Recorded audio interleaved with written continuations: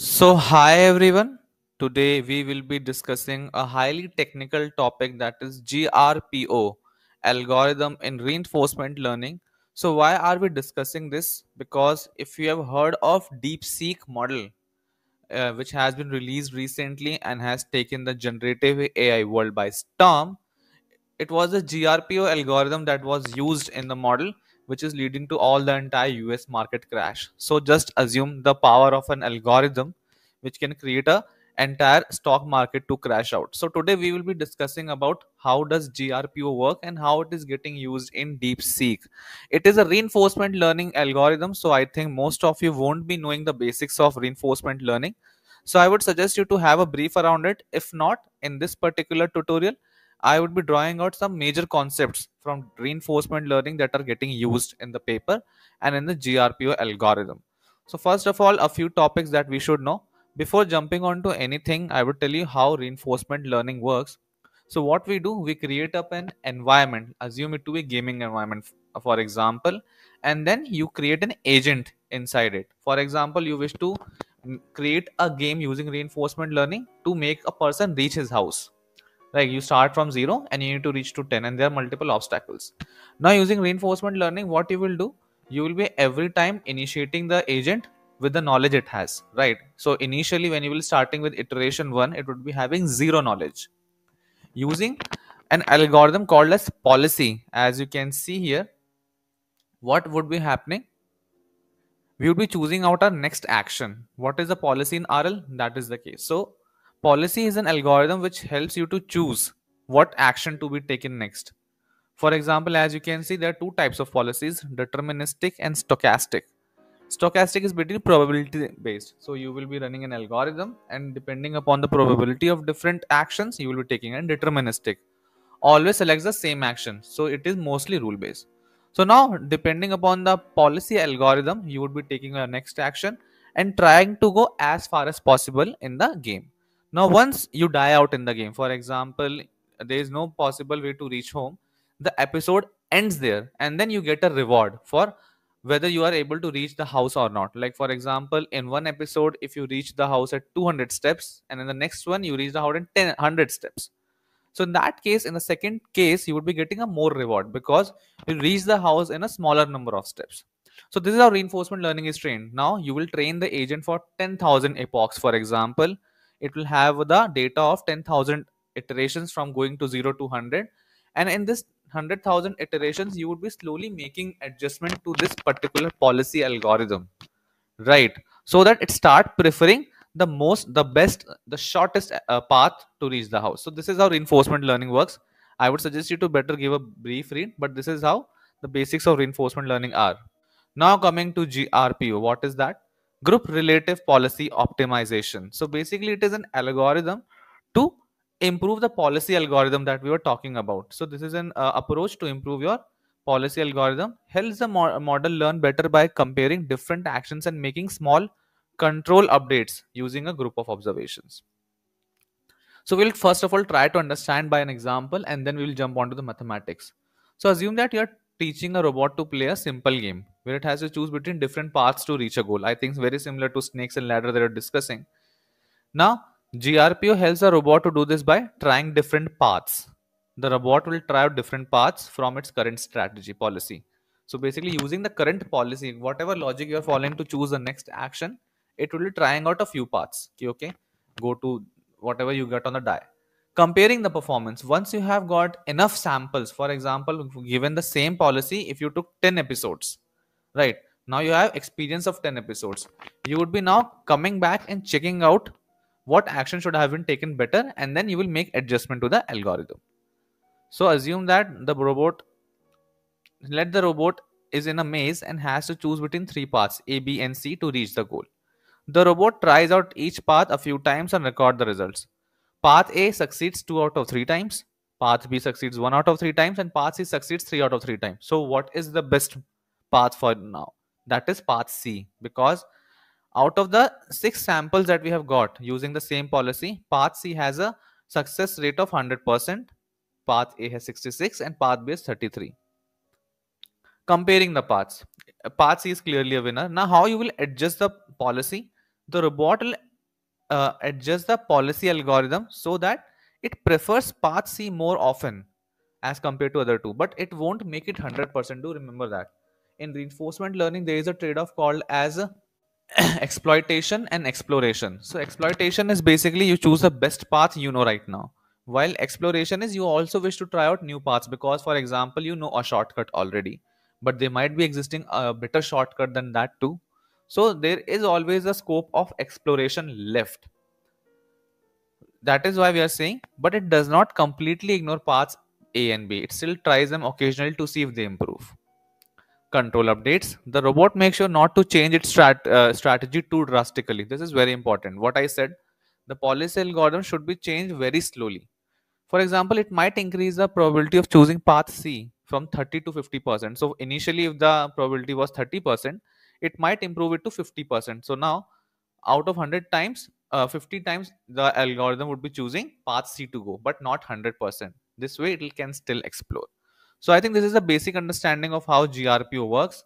If you have now got a basic sense that you are trying to uh, accumulate multiple episodes, multiple experiences, then looking at the final group of observations, and then finally making a change in your policy. This is what GRPO does. So now let's jump on to the mathematics of the algorithm. So GRPO algorithm mathematics, first of all, assume that policy is defined by pi theta. And this is the policy algorithm, pi theta A for A pipe S. So what does this mean? A stands for action and S stands for state. So for a given state and for a given action, what is the policy? Right? Makes sense. Given a state, what should be the action taken? This is what the policy does for us.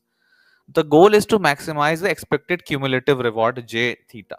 So what do you mean by cumulative reward? So again, go back to the snakes and ladder algorithm, uh, that game once you want to reach from 1 to 100 you would be throwing the dice multiple times. You would be reaching to 20 25 30 then might be back to 24 you you bit up by a snake you'll again go to 40 50 60 70 so there are multiple states before you reach the final end goal right? So this is what we say about cumulative reward. So eventually you would be getting a bigger reward once you reach the final state but you should be given some reward once you're moving in that particular direction right? So the reward given at 25 would be lesser than the reward given at 100 but it won't be zero. Because you want the agent to learn that okay this is the path to reach 100 makes sense? So this is what we are saying about cumulative reward. So for every state that helps you to reach to the final state we would be getting a reward. And the goal is to maximize this added reward the final reward that we get from adding everything. So the this particular equation might look a little challenging but it's quite easy. Summation of reward stat so reward given the state given the action. So given us if you are at 25 and you threw and you threw 4 from your dice what is the reward that should be given? That's it. It's quite easy. Group sampling. For a given state grpo generates a group of n actions using the current policy pi theta. Each action ai is sampled from the policy. So now you are generating multiple samples right? What we said we are trying to group. We are not making changes after every action that we are taking into the policy. Try to relate this with stochastic gradient. If you remember gradient descent, what we do while we update the weights of a model, uh, you run for particular steps and then you go and update it after for say 100 steps. You won't be updating the weights of the model after every sample, right? That is why we usually use mini batch gradient descents. If you know, this is very, very similar to that. Reward scoring each action AI is evaluated using a reward function, as we mentioned. The reward function could be based on the immediate reward or a discounted sum of future rewards. I think we should not be jumping much into this. Just assume that for a given action, we get a reward.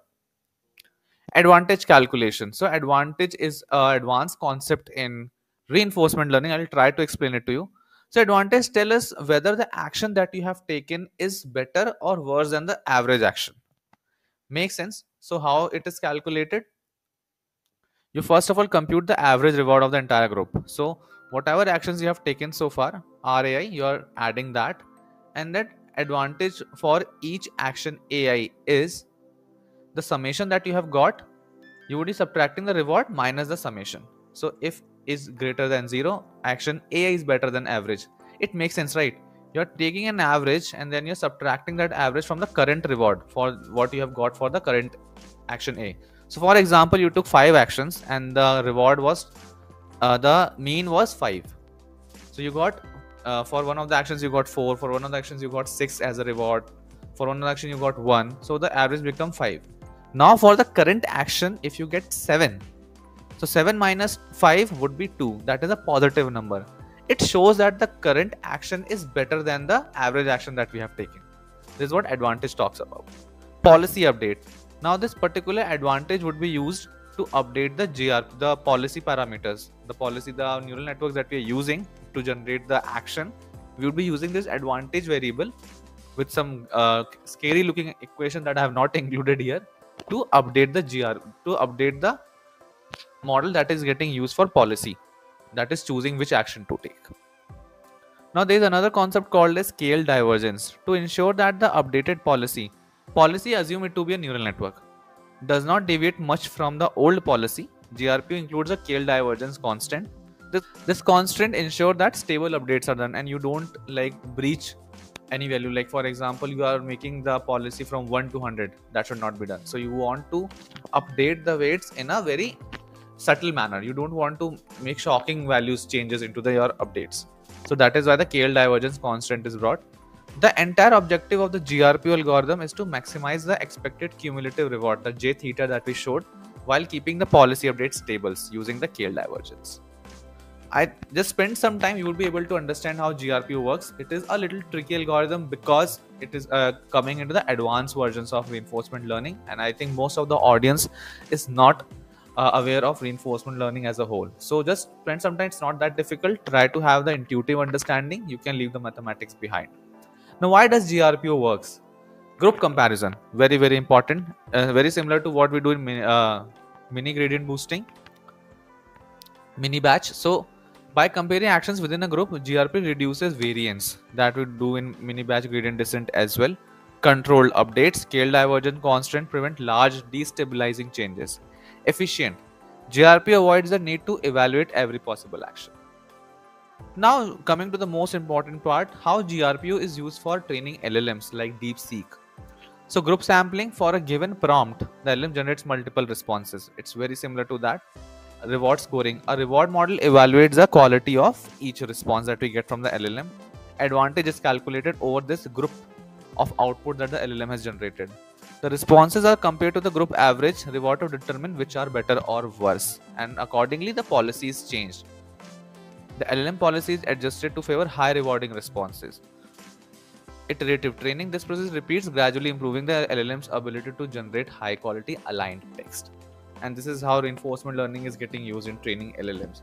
This is a little tricky uh, tutorial. Try to spend some time, try to understand how reinforcement learning works before jumping onto GRPO.